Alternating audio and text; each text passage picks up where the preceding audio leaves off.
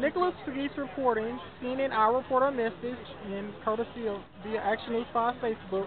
Thank you, First Shelby County Mark Luttrell, for supporting me in my endeavors here in Memphis. I, I really appreciate that from the bottom of my heart.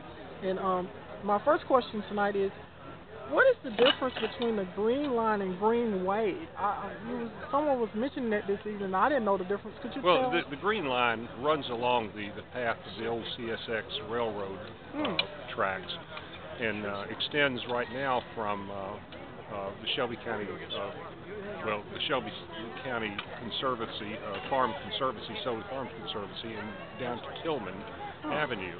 And the Green Way is, is where we are tonight. It's right along the, the Wolf River, extending on up into actually close to Fayette County. So uh, our, our dream is to, to get the, the two converging, which we've been able to do here at Shelby Farms, really with the bridge that goes over the Wolf River.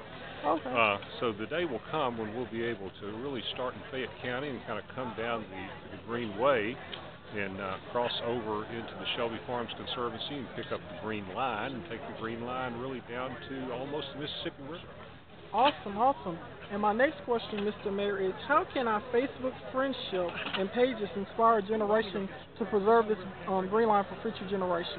Well, I think Facebook is certainly uh, the the uh, the medium, the communications medium of the current age. Uh, you know, I'm uh, I'm more and more getting adjusted and getting used to the, the Facebook and all of that comes with that as far as communication is concerned.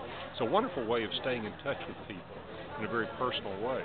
And I think the, the best way that we can really promote Facebook is just to continue to use it. And it's uh, you know it's like anything else in society. Once you get used to it and you use it more, it becomes more comfortable for folks. Then it becomes more of a value as people just see the, the, the broad range of Facebook activities. Absolutely. Now one more thing, Mr. Mayor.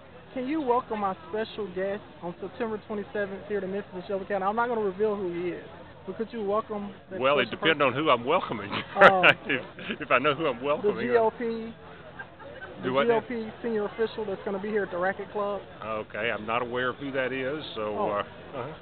so. Uh, but anybody who comes into town during the political season to promote the campaigns is very much appreciated. Thank mm-hmm. you, Mr. Mayor. Thank Have you.